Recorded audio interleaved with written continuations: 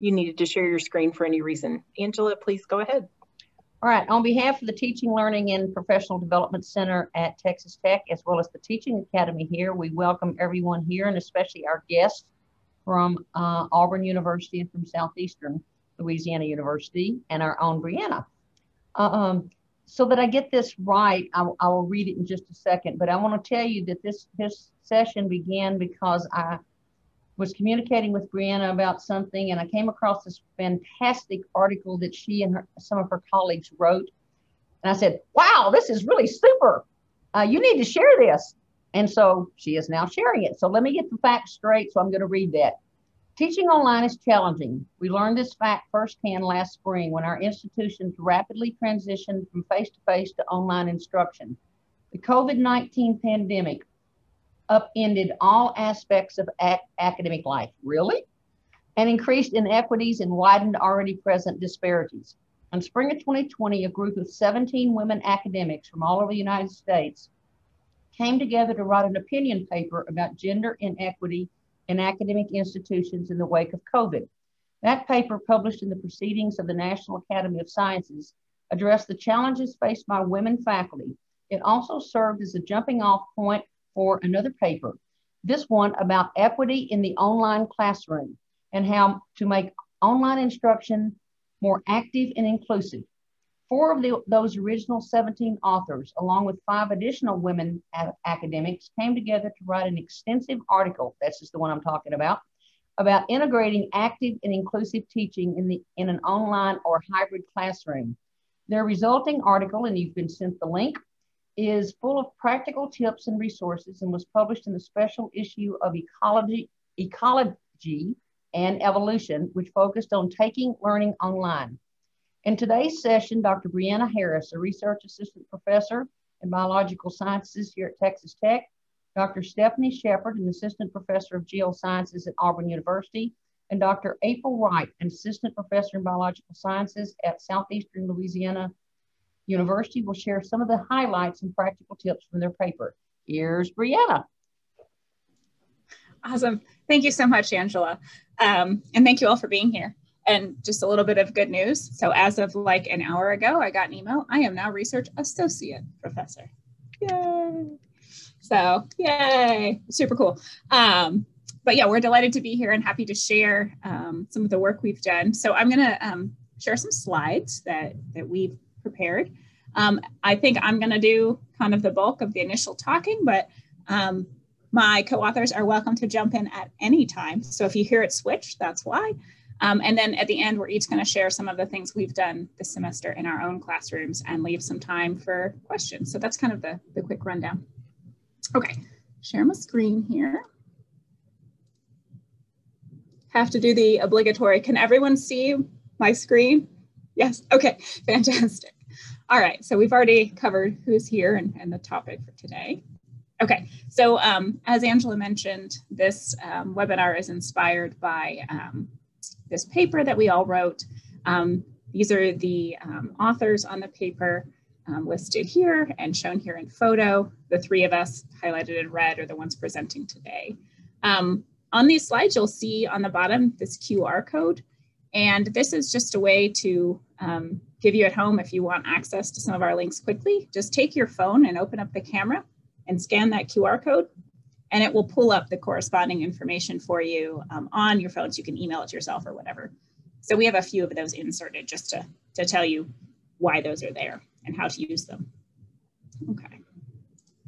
Um, so the focus of our paper, as, as the title implies, is really the integration of active learning and inclusive teaching. So a lot of us have heard of or are familiar with or use active learning in the classroom. So this process of engaging students in their learning experience. We may or may not be as familiar with inclusive teaching, but this idea of making sure that your classroom and your strategies serve all students. Um, we really wanted to focus on the overlap of these two areas, particularly in online education, because not all active learning activities are inclusive and not all inclusive strategies are active. So we're really trying to hone down these concepts and focus on the overlap. Um, just a quick outline, I know I said it at the beginning, but what we're gonna do today, so walk through a few slides on what's active learning and why should you use it, what's inclusive teaching, what are some strategies to increase both active and inclusive teaching, what are some common challenges and solutions to doing this, few examples that we've used in our classes, kind of what works and what we're still figuring out, and then Q&A. And um, this is kind of a wordy slide, but these are kind of our goals or take home points that we think that you all listening today will be able to do or take with you or know or be able to do when you leave. So define active learning, inclusive teaching, equity, and equality. Give examples of both active and inclusive teaching strategies. Discuss a few challenges of and solutions for implementing these in your classroom. Locating a few key resources to help you design and implement both active and inclusive teaching Appreciate the difficulties of changing the way we teach. Give yourself some slack and be okay with starting small. It's, it's overwhelming, absolutely. Um, and then last kind of a challenge is to devise a concrete action plan for how you're going to make one change next time you teach, whether that's in active or inclusive or one of those, and how you're going to do that in your syllabus. So kind of a challenge to you going forward. So what's active learning? Um, again, that's it's kind of been a term for a while. It's probably something we've at least heard of. So this is really the process of engaging students in their learning. So instead of them just being the traditional, what we tend to think of college classroom, right, sage on the stage, someone up front, delivering content, just, just like I'm doing right now, delivering content to an audience of people, right? But active learning really wants students to manipulate that information, to grapple with it, to become involved, to have agency, to really be able to be involved in their learning process and being able to apply that information and take those concepts and do more with them than just regurgitate back. So it's kind of the framework overall of active learning.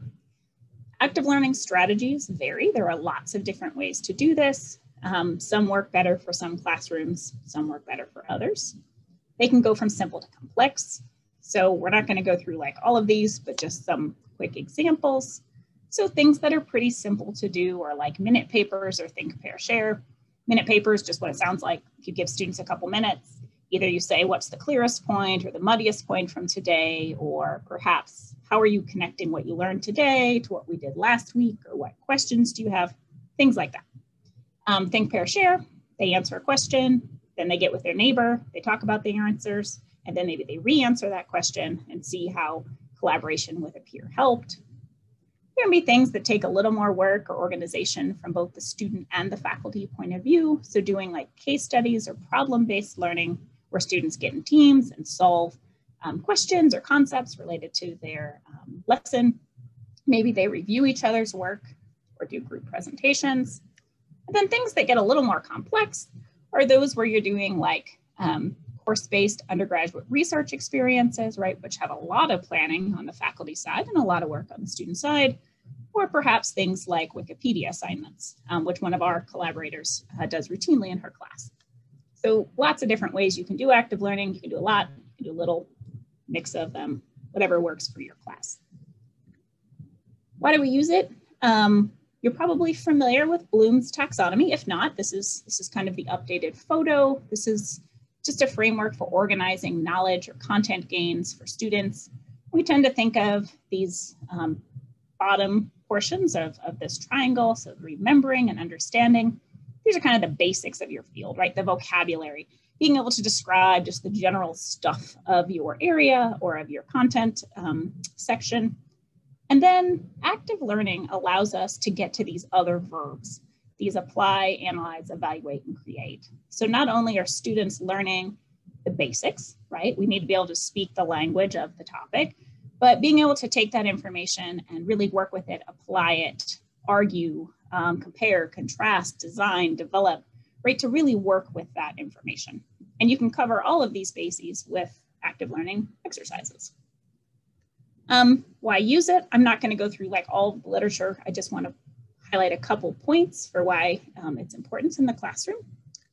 So um, active learning enhances student learning. Um, what you're seeing here, don't worry too much about specifics. It's a graph of students from underrepresented minoritized populations and those from non um, underrepresented minoritized populations. That's URM and non-URM. what you're seeing on the y-axis is learning assessment based on gains um, from that specific course. And those who got active learning are in the light colors, so light pink and light blue. And those who got traditional or passive learning are in the dark colors, so dark red and dark blue. So you can see that the light pink is higher than the red and the two blues are about the same. So this brings up an important point that active learning is helpful and is particularly helpful for reducing performance gaps. So this is something we see um, pretty consistently across courses, especially in STEM, where individuals that have the same level of preparation or training going in don't end up with the same outcomes overall. And one way to help with this is to use active learning. So again, this is from the same paper. Um, this is showing, again, the traditional and the dark blue, so red and, and this darker blue color, and the active learning in this light pink and light blue. And this is course grade um, overall. So same, same idea, same trends as learning gains, but also course grade. Um, along similar lines, this is um, a graph showing results from a meta-analysis. So several studies combined looking at course failure rate in classes with um, kind of traditional learning. So those in this peach or orange color, and then those in active learning. So we can see a shift in the percentage of students who fail the class with active learning reducing that. And again, this is a meta-analysis of several different studies across different subjects. And over here, um, again, really similar to this first panel, this is a recent meta-analysis, again, several studies included here. And what we see is the yellow dots are passive learning, the pink dots are low investment active learning, and then the purple dots are higher or more complex levels of active learning. And don't worry too much about the specifics, but what this graph is showing is that for students that are from underserved or minoritized groups, that exam score and overall passing grade increase with the level of active learning employed in the classroom. Um, and there's a lot of literature you can email if you want more resources there. Um, just another quick thing, active learning aligns with vision and change. So the AAAS kind of strategy to really increase participation and student involvement. And active learning is, is really on par with a lot of the changes recommended by um, American Academy of Sciences. The um, National Institute of General Medical Sciences and Howard Hughes Medical Institute formed a working group, and they really pushed the idea of student involvement and active participation. And as did the um, American or Association of American Colleges and Universities, they listed this active learning as a high impact practice and a way in which to increase performance. So that's our spiel on why you should do active learning in the classroom. What about inclusive teaching? What's this? So this is kind of a philosophy of teaching that provides equal opportunities for all students to have a successful learning experience. So really making it so all of your students can succeed in the class and thinking what you need to do as an instructor to make that possible and make that happen. And in our paper, we talk about kind of these aspects of inclusive teaching. They're not necessarily mutually exclusive. There's overlap, in the goals and um, how you implement these. There's also, I want to highlight, a really fabulous interactive website by Dewsbury and Brame. And if you want to access it, you can scan the QR code. But it walks you through kind of an interactive way to see what you can do in the classroom and what you're doing and what are some options to make your experience for your students more inclusive. Um, but the aspects of this we talked about in our paper. Um, we highlighted universal design for learning which is really a strategy that takes into account like how can I make this class the most accessible for everyone, right? So how can I make it so that everybody can have the ability to succeed and what are ways in which I can do that? Um, we can use trauma-informed pedagogy, so or teaching. So this is really taking into account that trauma can impact the environment in the classroom and the way in which students are able to succeed or behave in the classroom. And we're all pretty familiar with like ongoing chronic stress and trauma of, the COVID-19 pandemic, and that's hitting different populations in different ways. Um, and also the um, racial, racial injustice and the murder of George Floyd and kind of the social justice movement that occurred there. That's some ongoing, you know, pretty, pretty traumatic information that's impacting all of us. We can talk about culturally responsive teaching, so being able to make sure that all students are able to succeed, that they can bring their cultural experiences to the classroom, that we take that into account. We can think about students' lived experiences and that all students can appreciate different cultural perspectives and understand those. We can talk about mindset and expectation. So this is kind of the idea of growth versus fixed mindset. If you've listened to Carol Dweck or um, Saundra McGuire, kind of talking about how students view their abilities, whether they can change or not, whether I'm just smart or not smart, or, oh, this is challenging and that's fine and I can grow, right? That kind of attitude matters a lot. And it also matters for the way in which faculty view students or view themselves. So both student mindset and faculty mindset. And then last, a focus on equity. Um, that's pretty broad, but how do we make sure our course and our classrooms are equitable? So in terms of equity versus equality, right? So equality is giving everyone the same resources. Equity is giving everyone the resources and experiences or opportunities to get them to the same outcome, right? And I like this bike example just because it's really simple. And in equality, we give everyone the same bike. But for equity, we give individuals the bike or the tools they need to get to the same outcome, to finish the race, right? Because if you just look at equality, some individuals here aren't even able to participate based on what they've been given. So we can think of ways in which our classrooms can increase equity or can decrease equity based on what we give individuals. There are a lot of things in the chat. Okay, I think it's fine. I was just making sure I didn't need to address them. All right. Um, so what can we do for equity in our classrooms, right? So what are some things we can consider for online equity? Um, we talked about this a lot as a group as we were working on this paper, and I'm sure there are things that have come up since we wrote this paper. But we might want to think about what types of devices do our students have access to? Do they have laptops? Do they have desktops? Is it just a tablet? Is it just a phone, right? Are they going to take their whole class on their cell phone? right? And, and what does that mean for how we develop content? Um, do students need to buy access to software, right? Are there like programming things they need to use?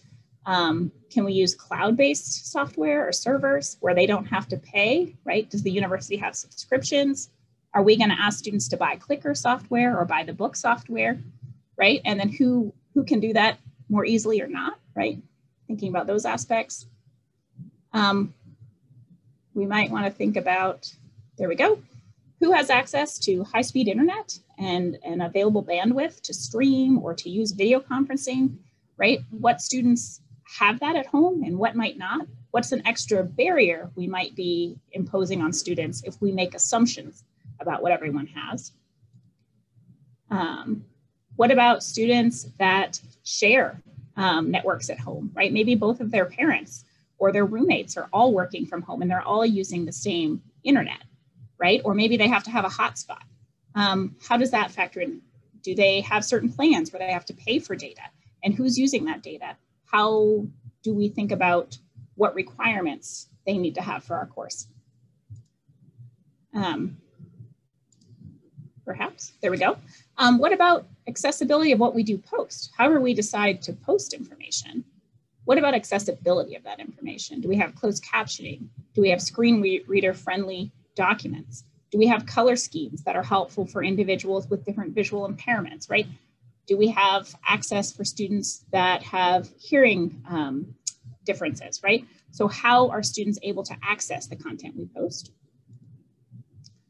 Um, do we require cameras and participation, right? This is a big one Do we require them to show what's going on? What about telling them they have to have a background? What if they don't have kind of the streaming capability to have that going? I know sometimes I've turned off my camera at home because um, my internet's not great some days, right? So what does that, how does that rule impact equity um, for students?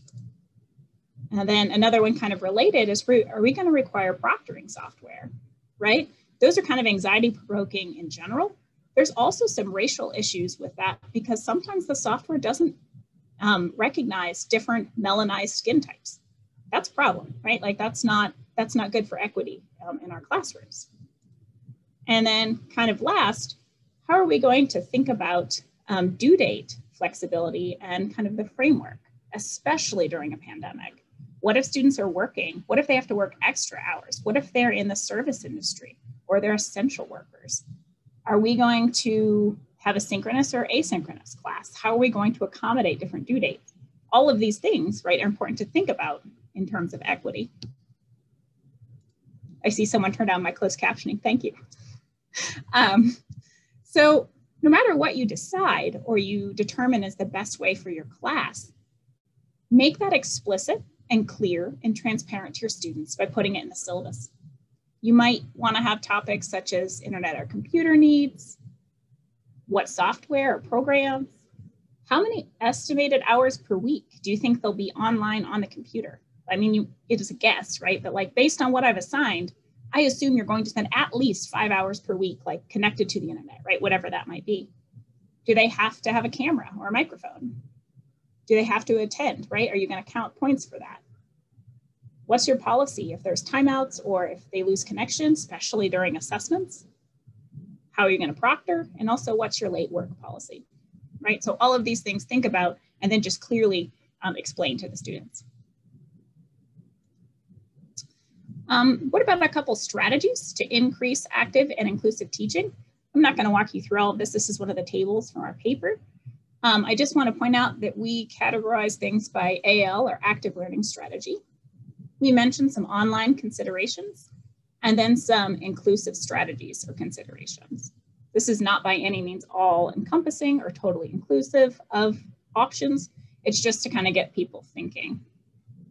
Um, one thing I want to point out here is we said, okay, what if you use a minute paper, right? This is where students write or respond to a prompt or think about the clearest point or the muddiest point. Pretty easy to implement. You can do it in big classes, small classes. And this could be beneficial and synchronous or asynchronous, depending on how students turn this in. You could also incorporate it with um, certain technologies, so things like Play PlayPosit or Edpuzzle, allow you to insert prompts throughout like a video lecture. So that might be a way to increase engagement online. Um, and then different strategies, perhaps building on um, universal design for learning, you could tell students they could submit it in any framework they want. So they could write it, they could record themselves on a video, they could do a, an audio recording, something like that. We also have some kind of medium level of effort um, examples. I'm just going to talk about one very briefly. So like a public service announcement, these are kind of fun. I've done this in class. You ask students to create a PSA relevant to some form of uh, your class topic. Um, it's a little bit more difficult because you have to come up with the assignment and whatnot, decide how you're going to grade it. But they could do this in a variety of formats. They could do peer review, they could work together, right? You could use the learning management system to help design rubrics and to help students to upload that. Um, and in terms of inclusiveness, you can use your rubric to increase transparency and expectations, right? So that's clearly available to the students. You could make sure your feedback is in line with promoting a growth mindset and easily provide feedback online, right, in the little comment boxes. Um, and you could also then allow students to use multiple um, formats to submit that assignment. And then last but not least, some of our medium to difficult or kind of hard to implement, just take more planning. So we had one of our colleagues that does a course-based undergraduate research experience. And I know if you're a TTU person that our TRUE group is, is working to do that with, with faculty. So if you're interested, reach out to Levi Johnson or, or others at TRUE. But um, this is where you really integrate research really heavily into your course and it kind of dovetails off of what you're doing. There's a lot of papers on how to do this. Um, but it really does allow students to um, engage. And you can do this online. Again, it just takes some planning, but you might want to have a dot cam or some way that students can use a microscope. There are some remote labs that allow students to control stuff remotely, which is really cool. Um, or they might use museum collections. And then thinking about inclusiveness, just kind of high-speed internet access, um, all those things with designing your course um, really come into play here because students are going to need to be able to, to be involved fine on time, I think. A couple challenges and pitfalls. Um, things we came up with were depth versus breadth, always an issue, right? No matter how you're planning your course. Where do I get stuff, right? Like, how do I get active learning activities? Um, oh my goodness, I don't want to overwhelm my students. I, I feel like this is a big one. Like, I want to have all this stuff, but how do I do it so I don't overwhelm them? Um, whose voice is heard in the classroom? So making sure it's not the same students all the time. Um, what if my students don't prepare in the same way? Like, what if there some groups come ready and others don't? How do I manage group work? How do I get my students to buy in? And what about like impacts on my course evals and buy-in from faculty or my department or from the people that evaluate me? These are all discussed in the paper. We're not going to go through all of them right now. Um, we do want to highlight a couple. So I want to use it, but I'm busy and I'm overwhelmed. Where can I get activities? Well, good news. There are a lot of ready-made activities out there. Um, we've created a table of them these are primarily ecology and evolution because that's the journal, um, but a lot of them are broader um, and they do span fields. Um, also, I've noticed a lot of professional organizations have education resources. Um, and I didn't know this, but like before, but if you email or ask people, they're like, oh yeah, yeah, we've got an online folder. So check your orgs, especially if you have um, teaching-based discipline, disciplinary organizations. Like I learned there's this really great one for biology education also some really helpful Facebook groups. Um, Higher Ed Learning Collective is great. People are always asking for assignments and people are always providing them. So reach out, don't reinvent the wheel. Um, but yeah. I put one in chat that is, it started Perfect. out as the geoscience one, but it has a ton of basically from all approaches of science. It's a cert, serc.carleton.edu. That's awesome. Thank you. Um, this is just an example of what the table in our paper looks like, kind of giving you the database and, and a description, but a lot of them are pretty general um, for the sciences that, that you could use if you're a science um, educator. And then one I do want to just pitch um, because I found it super useful is the National Center for Case Study Teaching in Science. It's based out of uh, uh, University of Buffalo. And there are almost 900 cases on here spanning topics, um, lots of different fields of study, they are peer reviewed, they come with answers and teaching notes, and anyone can submit.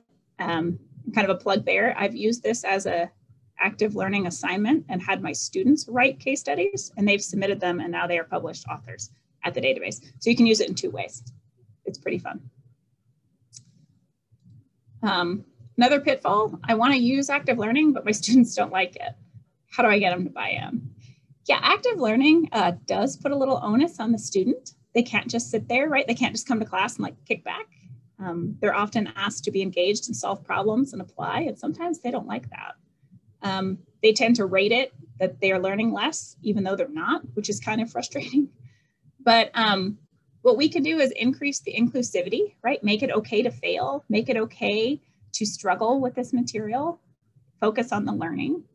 Um, we can talk to them about metacognitive thinking and how important it is to assess yourself we can be super explicit in our um, rationale and the way in which we're grading them.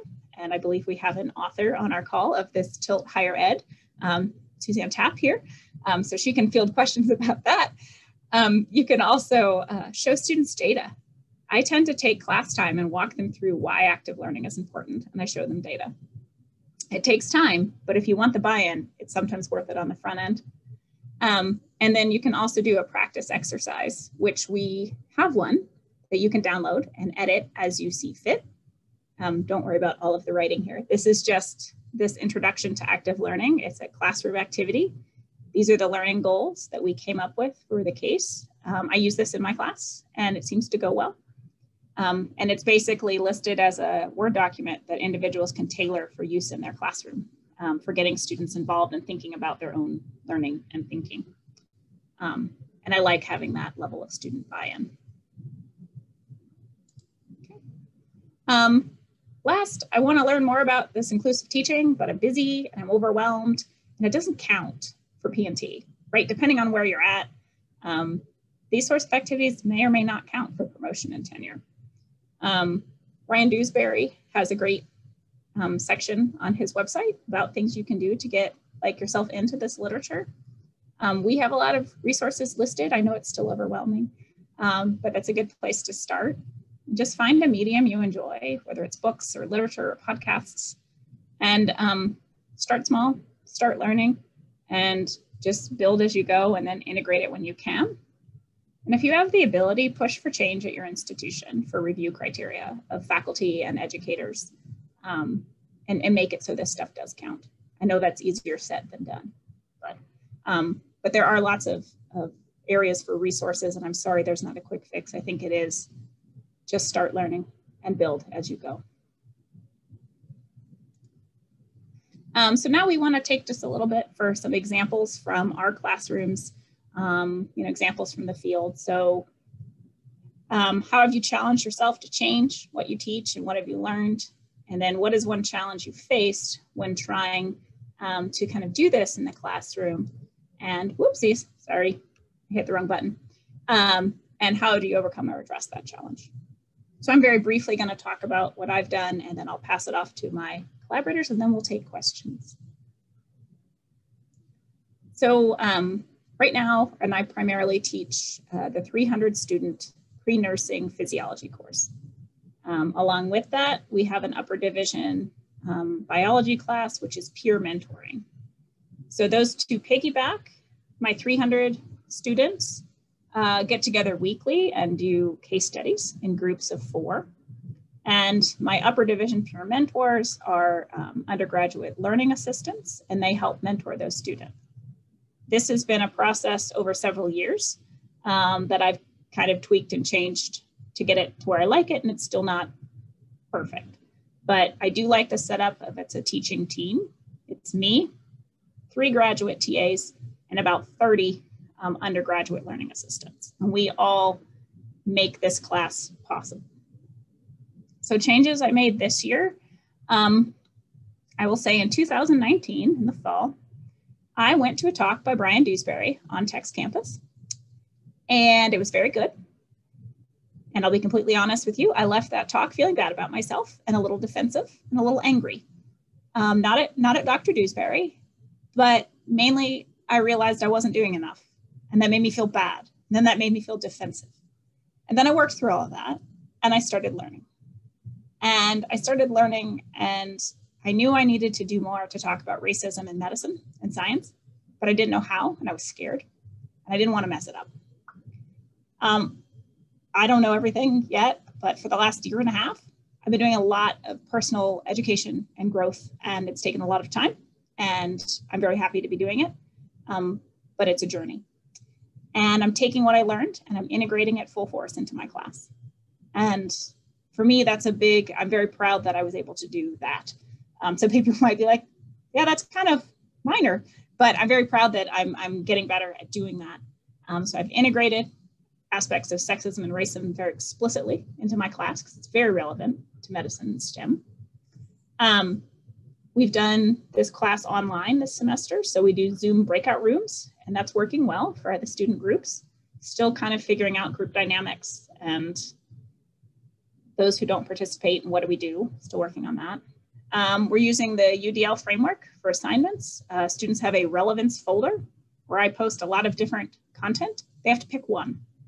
They're like podcasts, they're reading, they're news clips, book chapters, and they pick one that most interests them. And that's going well so far. I redid the syllabus for equity. I redid deadlines. I revamped how points count. They're allowed multiple redos on assignments. Um, so I've done lots of things. And if you want to hear more about specifics at the end, you can ask. But so far, it's going well. Um, I've challenged myself to learn. I'm still learning. Um, and I think overall it's going well, but there are certainly things that little little bumps and organizations that I'll have to continue to, to work out. Okay, I think Steph is up next. Yeah. So I am I am the unusual person here. I am a geoscientist. I actually uh, teach uh, most of the like the required classes in my department. Like when we have things like a geocommunication class and and um, a professional development class. Those those are the kinds I teach. But my research interest is geomorphology, and I'm allowed to teach that, which I love. And that's this semester, and it is a undergraduate graduate level piggyback class, uh, and I'm it has a lab and I had the option to teach it completely online um, because I have a child with medical issues. And so I was given permission to teach online and I chose not to um, because I was terrified of trying to figure out how to do lab online.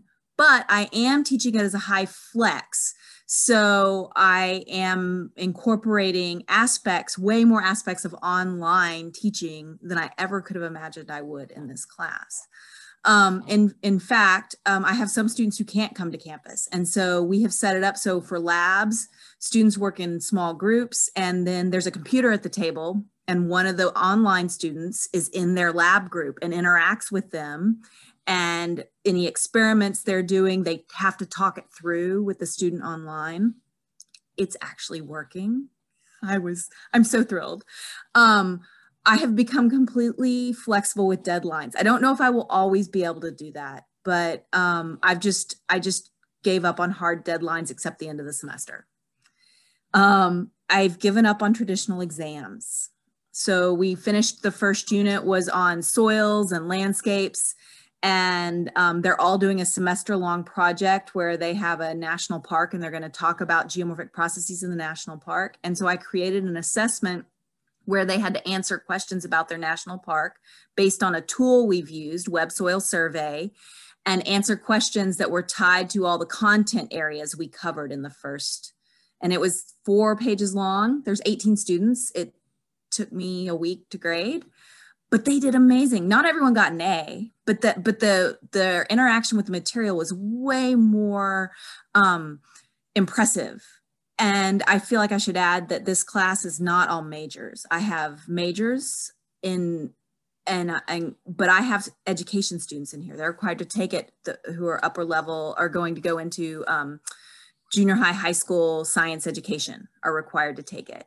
Um, I have students from engineering that get sent over because they need to know about landscapes for civil engineering. So I have a lot of students who don't have a geoscience background. And so this is one way that I'm addressing those different learning backgrounds um, that's really working for me.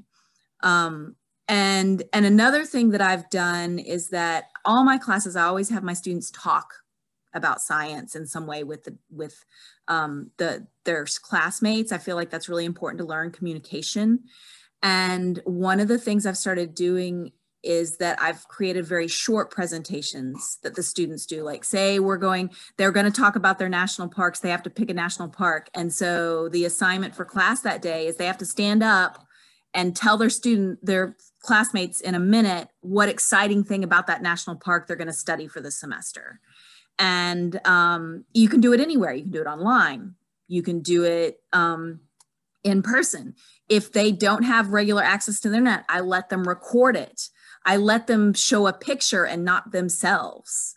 Um, so i just provide a, all sorts of different options for how they can submit that assignment and either do it live or do it as a recording um, the other thing that I've incorporated for the upper level students is we do a lot of things based on the three minute thesis model. So if you're not familiar with that, it's one slide and they have three minutes to talk about a topic or their research or whatever.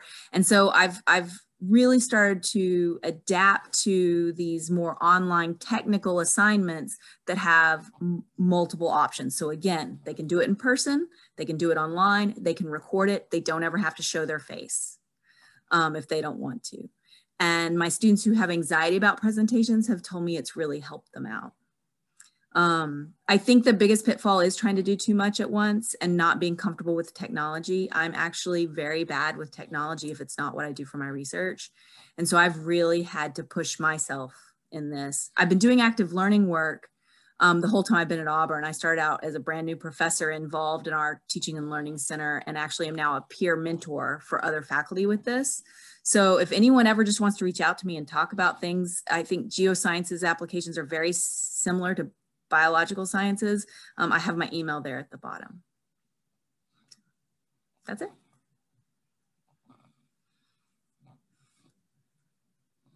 All right, uh, that is me now. Um, so I'm April Wright. I am an assistant professor at Southeastern Louisiana University. This is my fourth year here. Um, and so I teach typically uh, three courses a semester, so three, three usually. Um, one uh, course that is a staple of uh, my teaching load, I do this every semester, is genetics.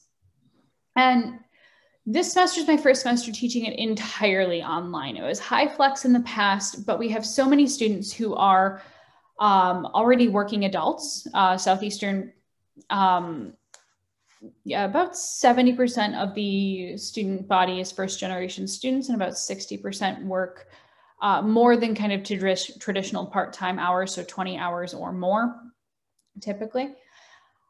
Uh, and so for us, there are some major issues associated with uh, student resources. So who has their own personal computer, right? That's a big deal for us. Uh, who has rural internet? And particularly this year in the fall, we lost 11 instructional days, I think due to various weather emergencies. Uh, so we're, we're in a position where oftentimes if students are not on campus, they have a difficult time keeping up right? And so for me one of the big changes that i've made is i never have my camera on and i don't ask them to um, because so many of them are working unstable hours right? I have a ton of students who work uh, have picked up basically part-time work on covid diagnostic testing services particularly students who are sort of medically oriented. Uh, so they're working a lot um, and so I allow students to do the course asynchronously. Every day we have a minute paper. If you are in class we'll get together in a small discussion group and just everyone will use you know google drive or something to send it to me. It's completion grade. If you are not able to be synchronous you have 48 hours after class time to kind of get that submitted so that i and that's that deadline is still mostly there so that i can look at them and see how well people are understanding what's going on.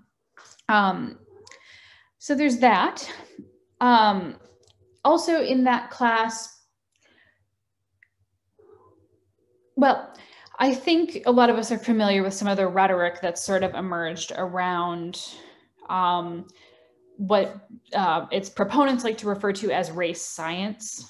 Um, you know, there's that that's not a that's not a real science. Um, but a lot of it is rooted in misunderstandings, misunderstandings, often intentional misunderstandings of genetics. Uh, and so I've added a week to our curriculum where we talk, you know, very explicitly about um, genomic tests, genomic method, uh, mechanisms, uh, how variation is apportioned among human populations.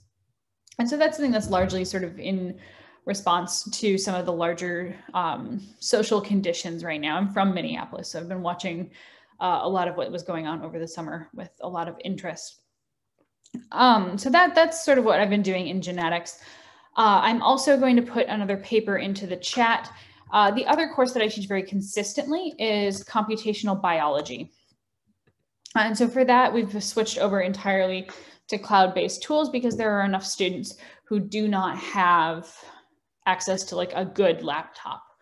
Uh, so if we want to use RStudio, we can do that in the cloud uh, for I think 15 bucks a month uh, for the whole class.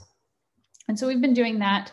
Uh, something that I did for that class was I went and I dug out a bunch of monitors from surplus because if you're doing that online and you're trying to follow along coding, but you're also watching me do stuff on the screen, the real estate for your screen is just, it's not going to work out great. So I, I just surplused a bunch of monitors uh, and just handed them out like candy uh, for the students. It was perfect. Um, so there was no investment really of their technological resources because they could interact with the code environment through their browser. Uh, and I just, you know, got some uh, got some equipment for them to have. Um, one thing that I'll say was effective for us was leveraging in-state networks. Uh, so for example, we are, Louisiana is a um, low income state. So we have special funding through both NSF and NIH. And we were able to use the INBRE network to get uh, laptops to support kind of bioinformatics education. So anything that touches on health, the NIH does have a few pots of, uh, of money for that that might be helpful. Um, I think that's about, oh, right. One thing that I have tried, and let me grab a link to this paper as well is I tried, um, this goes actually straight to a PDF on team-based learning, where uh, you put students into teams and they sort of work with those teams throughout the semester. Um, and there was a paper in Evolution and ecology. This actually was in our same special issue that our paper appeared in about using that to increase, you know, student belonging in entirely online courses. This is something that I really wanted to do, uh, but it's been actually very frustrating uh, and hasn't ultimately worked out because of that issue of students working, you know, many um, many hours and having kind of unstable class attendance. So this is something that I thought we were going to do. We are going to do this team-based learning and, and have students really get to know each other in the online environment. But I just I, I couldn't make it work. So if anyone has any ideas on that, I am I am all ears. But for me, that was personally something that was a high hope and a mighty frustration.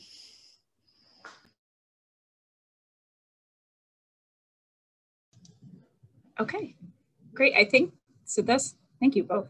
Um, pretty much wraps it up. Just reminding everyone that like it's super hard to change the way we teach.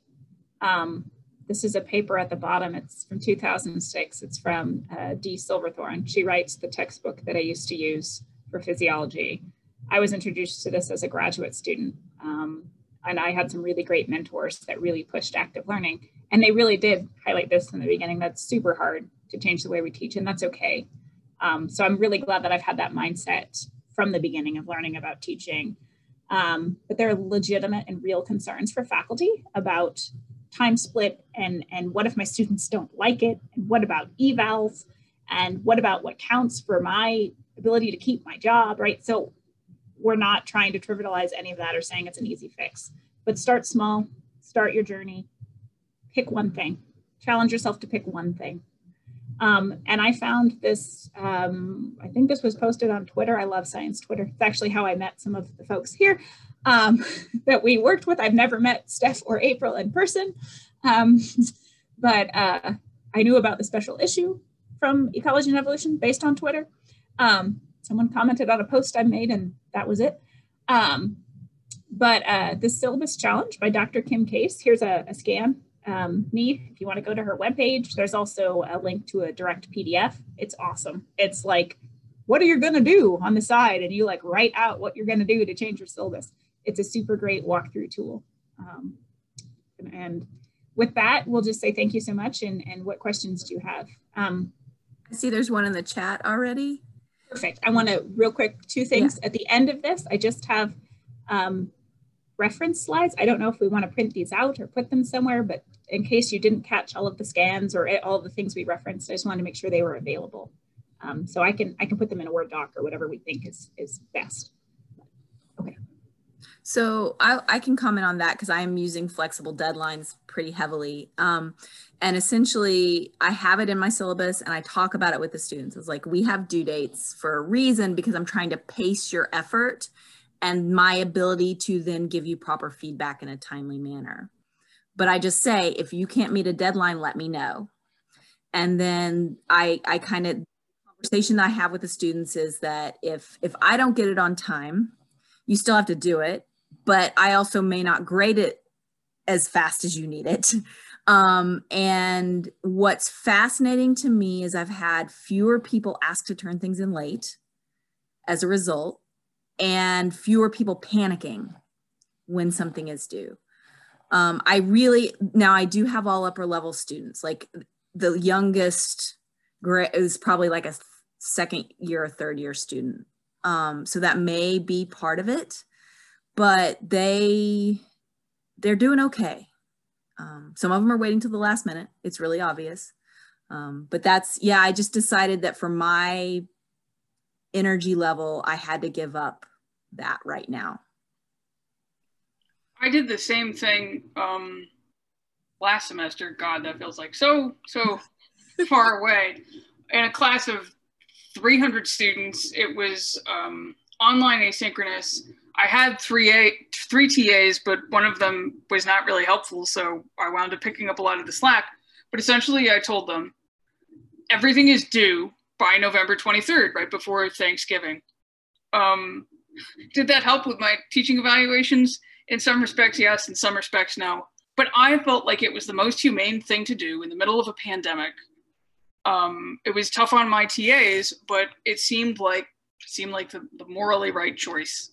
And then what I'm doing this semester in a 3000 level online asynchronous class is giving everybody a one week grace period um, and then telling them it's got to be in by date X, May 1st, um, if they want to avoid a big whopping penalty. Um, and that too is interesting. You see the students, especially in online teaching. I've never done online teaching except this year. It's really interesting how the students self select. Some of them do all the work on time and early, and some of them don't do anything. So. Yeah, I'll, I'll just comment real quick and then I'll read a, a question from John. Um, I'm also using a somewhat flexible deadline. Um, I broke my class into units. So like there's four units, each unit has an exam. Students are allowed to drop one exam. Um, within that unit, there's like three weeks worth of assignments. And I just say the assignments are due before the exam for that unit. And you can take the assignment as many times as you want. It's credit, no credit. But the catch is you have to get a 70% or above to open the next week's folder. It's kind of working to help pace students. Also, some students have just never done anything for the class and I've emailed them multiple times. So I don't, I don't know how, I'm curious to see how it'll play out the rest of the semester, but it's my first time playing with flexible deadlines where I don't release a key because that's always the concern, right? So I have homeworks, there's 300 students, they're auto graded because I'm not grading 300 assignments every week. Um, but then how do you do that where if they get the answers, right, like they're not just going to pass them to their friend and then take turns doing that because my students do that. So I was trying to figure out a way that I could have multiple attempts and multiple due dates and still deal with like releasing scores. Um, but I, I, don't know. Um, John asked about, um, so what are your thoughts on using Google Docs, breakout groups, and other interactive tools on Zoom sessions? Do you think it might be too big of a risk when thinking about technology differences um, of the students in class. So I haven't come across any major issues with it. Um, so I do use breakout rooms. Um, you know, uh, and you know, I have a few students who are joined on like an iPhone, and I think they might be like watching the slides on their computer, but then doing audio through the phone. And since I don't require them to have the camera on, um, that's been okay. And Google Docs is another uh, technology that you can use, you know, completely mobile if you want to. Um, but the other thing is, you know, I don't take attendance, right? So if you want to do the activity later when you're on campus in the library or you're, um, you know, you want to get together with a friend in person and like do the uh, activity hands on, like print it out and do it, and then take a picture of it that's fine by me, right? Um, as long as I as long as I get um, those in class activities at some point, so I can just you know assess how people are doing. Uh, as long as I get them at some point, that's okay with me. So um, I haven't had any major problems with using Google Docs, but or breakout rooms, but we might see more of those when we are doing kind of mandatory synchronous, right? Yeah, I required, so I have a synchronous portion of my asynchronous class. So the discussion, which is separate registration, is synchronous. And the syllabus just explicitly says like you have to have some way to use Zoom just because that's how we're going to make this work. We're going to make the classroom feel small by you all being able to interact. You don't have to have your camera on, but you do have to have some way to like type or chat with your group. Um, and we're using OneDrive because all students have access to a OneDrive account through their tech um, they also get free Zoom accounts, right? Like you can, since we set it up with the, the timeline, my, my TAs do, um, that's not been an issue, but I have said in the syllabus as well, like if you have circumstances, let me know and we can figure it out, right? Like I'm happy to work with you individually if we need to figure out if we can check out a laptop for you. Um, but like let me know immediately so we can get it solved. Um, and I haven't had anyone say anything, but I don't know, I can't say for sure that that didn't deter anyone from taking the class. So it's a good question, John.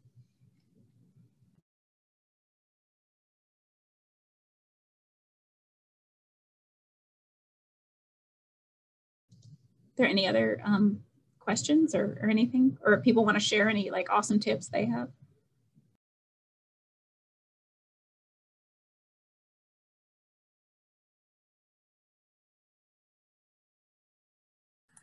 It's like waiting for our students to talk on Zoom. I'll give an example. I do. I'll, I'll make a quick comment. Um, this is John, and and thank you so much for the thoughts on this. I, I just had literally not even thought about that until April. What you said about cameras, I was like, that's so true. Like, there's probably some of my students that might not be able to access this, but but I think you're right. There's you know you can still get to it on your phone. Um, I just was going to comment on Suzanne's comment about sending a survey. This last semester, I sent a survey in August um, before the semester started to kind of get a sense of what students were expecting and by september all the students had totally changed their perceptions because all of a sudden like it was real right? And so i think suzanne's idea is a really good one. And i would just say it's probably good if we do send that survey to send it after a few weeks as well to see you know how things are going because i think especially and, and you know and covid is is probably a unique experience but for my students what they thought they wanted and then how that actually played out in their real life were very different. And so we had, you know, we had, I, I sent another survey kind of after they asked me to, um, to kind of get a different perspective there too. So I think that's, that's really helpful.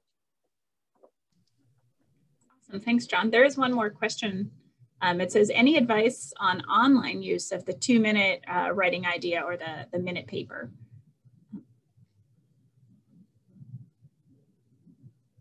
Say, I've used um, like Blackboard Journal um, like that or the discussion post for those sorts of things. Either if you want it to be viewable to other uh, students or not. So like uh, journals you can make, I think group or like a discussion board could be group. I think journals can also be individual or you can do like an open-ended survey um, where you can see if they did it, but it won't be available to everyone. So those are good options. Um, I think April said she uses Google Docs um, or anyone else can, can chime in there.